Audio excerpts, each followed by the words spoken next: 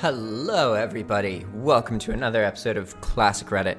Today we are reading a post by Naval Battle 12.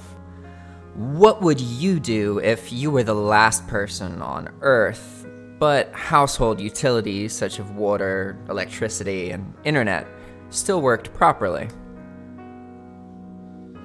Very little would actually change, except not having to go to work a bit more breaking and entering for food, and a lot more public nudity. A response It's not breaking and entering if no one else lives anywhere. It's all yours, baby. post by Brit Vic. Travel around, staying in mansions and cool places, use the internet to learn how to fly a plane so I can travel further, but I'd probably crash on my first try, so that would end things pretty quickly. Flight Simulator is a thing. Flashbacks to Last Man on Earth. I'd rather have a helicopter, so I could have more options for landing. Granted, fuel would be more worrisome, I feel. By Mr. Bleeze. Probably check out places that were previously off limits. Fort Knox, Area 51, see if there's really a Hall of Records underneath the Sphinx, seed bank, etc. Edit. I did mean the Svalbard Global Seed Bank, not bank. You know how to fly a plane? Really going to want that skill set if you plan to travel to all of those. Which seed bank? Fort Knox and Area Pretty Area 51 are probably littered with landmines and booby traps. Browse Reddit until there's no more content to read. What? Bots would continue to post. It's true by Eat Me Drink M3. I've always wanted to live in a big grocery store. Just walk around and eat whatever I want. The dream response. Until it all goes out of date. Never thought a comment that I had totally forgotten about would create such a discussion about food and electronics. Then head to the Best Buy to get some new electronics and also some smash some of them.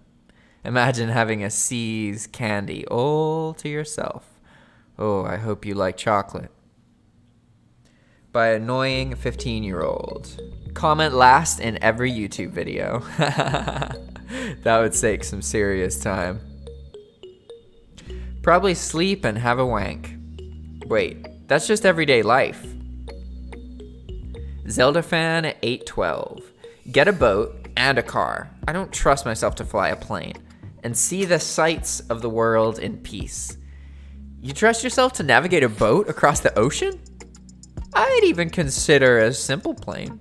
Granted, you're smarter since I'd probably crash, but it's still worth considering. By back to back, I would commence to wonder if all those utilities, water, electricity, internet, worked on their own, why did I pay all these monthly bills? No, no, no. They need to be paid. It's just that aliens feel bad for you being the last one alive, so as pity, they're paying it for you. Trust me, that wouldn't work for very long. I work for a utility, and infrastructure is very needy. Well, I. I would steal my neighbor's food and watch YouTube. You can do that now. Probably, I would search for another living person for the rest of my life. Well, isn't that what we all do with our lives anyway? You try and find someone you can tolerate who also tolerates you and also happens to have correctly oriented organs compared to yours. I see a lot of people saying they'd have a wank. Would you not at least go get the most realistic sex doll you could find? OP said you're the last person on earth. Never said anything about animals. Oh. I know, right? That's why I said I'd get a vibe. By Monkey Joe. Find a sweet house on the coast, reasonably close to a grocery store and gardening store. Lowe's or Home Depot could do. Maybe a gun store, though that could be a once in a while trip. Love to find a 3080 graphics card, but those would still be somewhat scarce. this, this guy's gonna scour the world to find an expensive graphics card just into some ghost house. There's a building named Linus Media Group in Canada. I think you can find half the world's stocks there. it's like Fallout. Knowing me, I would open Reddit, close it again, and open it again. Forever in a loop. By Welfare Clairvoyant. Head to the Pentagon, NASA, uh, NASA, and Area 51 and get a ride to then go find out the rest of you for leaving me. Why? They said last person, not last creature. Aliens aren't human. I'd find the Greys in Area 51, raid a dispensary, and have a bowler time with the Ayamos. Go steal the keys to the best car I could, drive to Beverly Hills in Hollywood Hills, and go live in my dream house. Break into houses and find drugs in my spare time. Hunt for food. Animals would be in town shortly thereafter. Subsist on found drugs on the weekend and meat for food. Live about five years this way before dying to something stupid like a drug induced heart attack or a car accident driving 300 miles per hour and not being able to do surgery on myself. I would be satisfied. Gasoline expires, so probably not a car crash. I feel like most people would do something routine and end up accidentally dying, or have some kind of medical problem and in no way solve it. A comment by Jasir Waste my time to create another human. To be fair, depending on your gender, you could create one with preserved material from the opposite sex. Alternatively, there would be absolutely be laboratories already set up that you could find to try and do it yourself if you're of the male gender. By uninteresting, no, interesting, debate 81. I'd love to go into a store and break everything like that scene in Zombieland. Also, move into Buckingham Palace. If the Eurostar is still running, I'd move into Versailles. I'm gonna be pretty busy freeing and feeding all the cats, dogs, birds. This made me sad because there's no way you'd get to every pet shop and shelter in time. That was my thought. I'm sitting here petting my cat, thinking about all the sad animals who'd be trapped in their houses. Step 1 Free the fur babies. Step 2 Learn to subsist as you continue to free the fur babies. Step 3 Become queen of the feral animals and care for your pack, clouder, herd, or flock. It would still be lonely, but at least there would always be someone to love. By Winterclaw 42 Food would be an issue, especially in the long run. Part of me says I'd try to work on a monument or something that proved humans once were here because most of our structures will be gone in a few centuries. Good point about food. So move to a place where food grows naturally year round and has fresh water. There are plenty of foods that plant themselves. You just have to know which one will take care of themselves in your climate. Moving somewhere like the Bay Area would ensure that you could grow almost anything. Many farms have already planted for you, so you just have to know when things will be ready for picking, but honestly, planting your own would be better. Within just a few years of no people, fish would be aplenty, and a person could live on what you catch and grow very easily. I personally, says Bop Crop, I would go insane. Good point, Bob Crop. Short and succinct. By Ali Deck. First, I would move more than a hundred miles away from nuclear reactors, which means, oh shit, I'm going to a small coastal city in Mexico where the Pacific has no memory, and I would probably fish. Maybe garden some fruits or whatever and be able to relax. I would also probably end up putting a fence or a group of soccer balls and talking to them all the time. Tandy? Hey, you! Volleyball, not soccer. Even if I was the last person on Earth, I'd go get money from the bank, deposit into my account, and pay the debts. That's how much my student loans stress me out. This is a realistic answer. Canadian 47. Figure out who's a bot. Still posting equals bot. By Kahiri Love. Wank on the top of as many historical buildings as possible. Thank you for the awards. I can do whatever I want. Uh, lavish harmonica. Impregnate myself with sperm from a sperm bank. Problem solved. My kids can grow up, and the woman can at least do the same, assuming the electricity really keeps. Genetic variation eventually, and I'll have someone to talk to in about six years. Good luck giving birth to many, many children to have enough diversity, which will also take loads of time because the gestation period is 9 months. Finally, get enough sleep. There's a wrecking ball crane not too far away already in the city center. Make a bunch of babies out of frozen eggs to save the Earth. You're the last human left. The Earth is saved. Ha ha ha. A response by Silas the Firebird. Yeah, but that only works if you're female and know how to implant them safely in yourself. And, considering the healthiest ages to have children are 16 to 35, and the possible ages can be going off of the highest and lowest that I've heard, which are extremes, 5 to 75, you need to hope for more females than males, raise them for several years, and teach them the procedures, as you are now a ticking clock. Not to mention, you would need to find a sperm bank too, and sperm expires. That's assuming that IVF works for you because it's not always successful you would waste a lot of eggs. It also depends on where you live. If you live in a place with a high population, chances are the children will be genetically diverse. If not, it will be the same result as inbreeding. None of this will work if you don't have a uterus, as the fetuses will still need one to develop. Then you have to survive childbirth without anything for the pain or the help. And if a baby is breech, you both die. Painfully. A response by Bostro. I'd go on mission control and talk with the astronauts on the ISS space station, who are probably freaking out and about resupply missions and everyone on Earth being dead. Edit. Astronauts are actually extremely difficult to freak out, as they need to remain calm even in extremely taxing circumstances. But I suppose they could be very concerned, which is the normal person equivalent of freaking out. Wow, guys. I'm floored. Seven years and four months later, and I finally got a popular comment.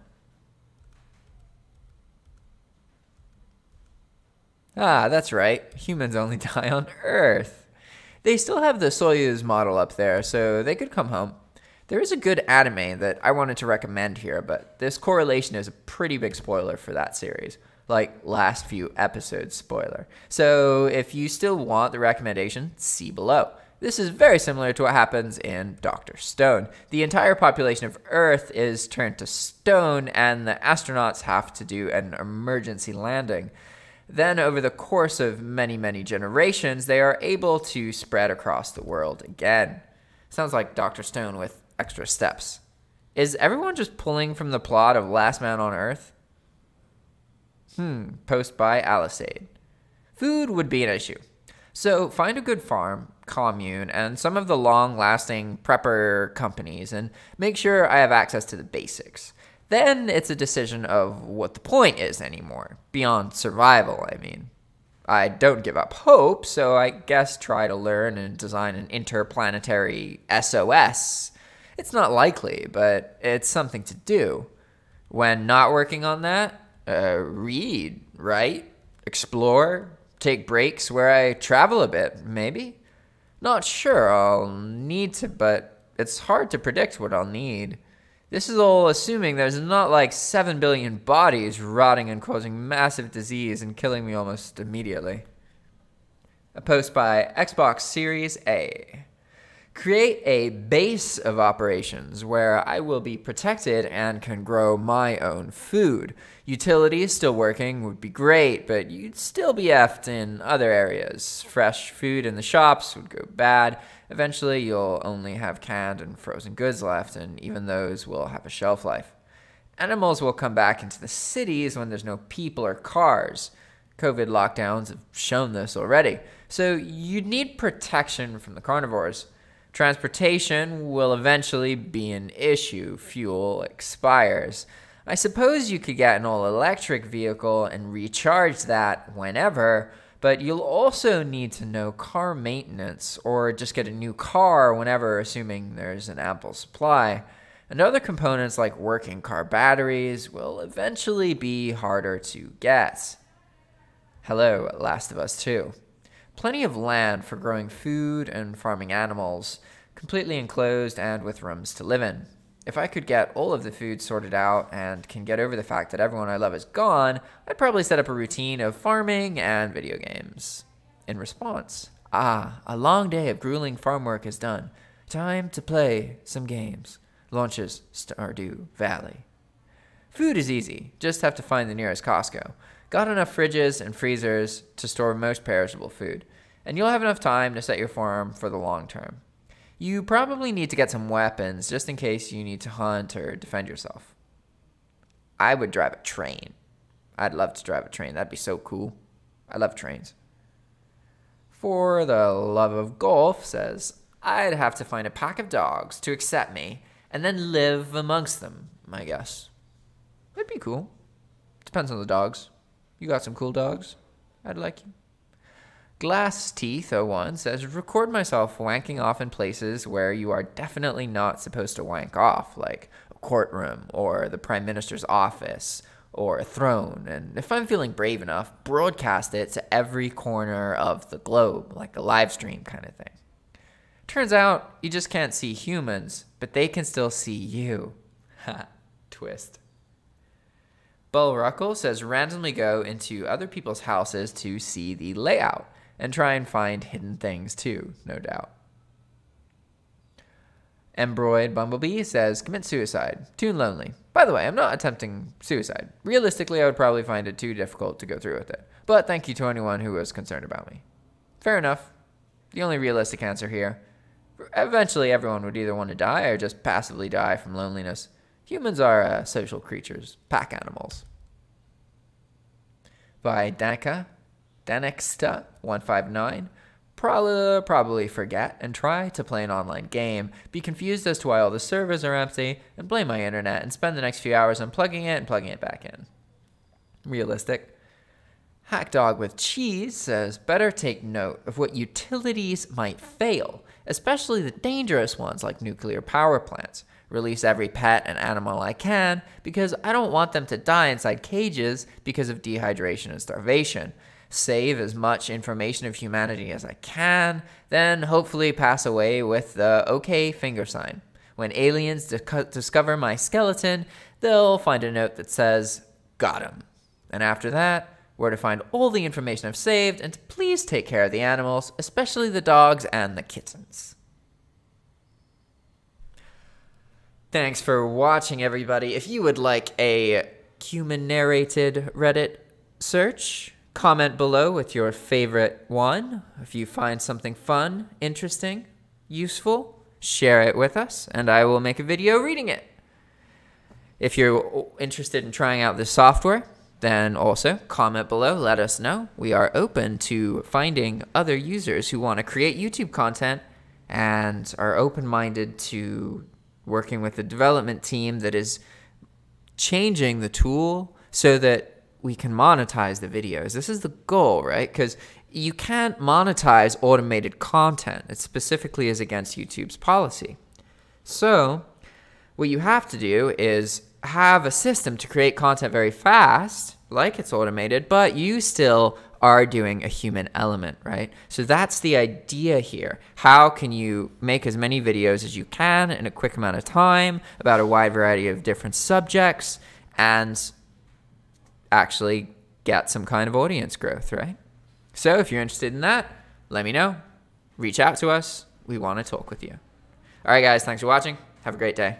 Ciao.